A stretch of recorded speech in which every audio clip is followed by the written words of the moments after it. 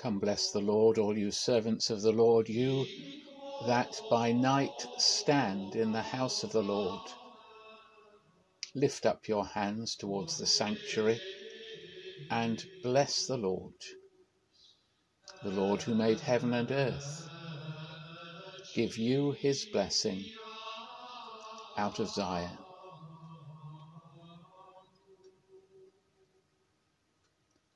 Thus may the Lord Almighty, our God and Saviour, grant to us a quiet night and a perfect end. For our help is in the name of this Lord, who made heaven and earth.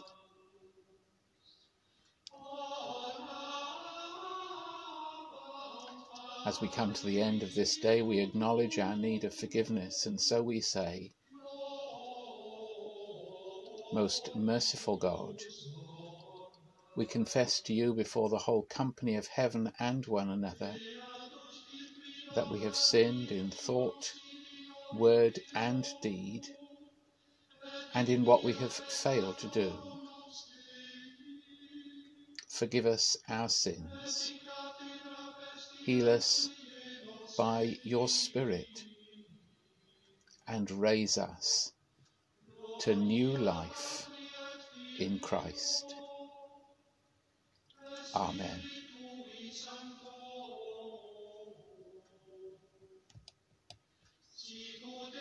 With the confidence that our requests are answered, we say, Before the ending of this day, Creator of the world, we pray that you with steadfast love would keep your watch around us while we sleep.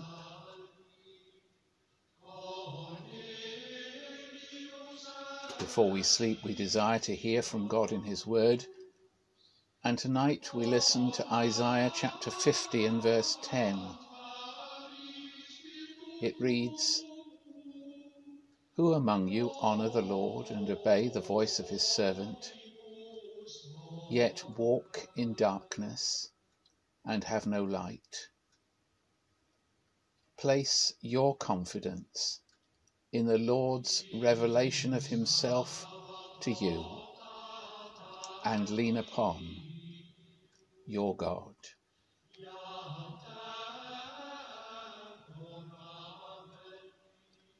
If God seems absent from the lives of those who do not believe, so on occasion we who seek to glorify God by following Him feel the same. But we are not entirely without witness. The Lord has revealed something of Himself to us, not least in His Son. And Isaiah encourages us to rest upon that even in the deepest darkness.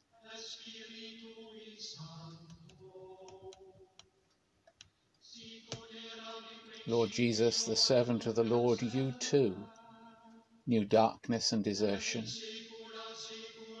but still cried out to him who was my God. Give us grace to follow your example and to rest in arms that were flung wide open for us on the cross.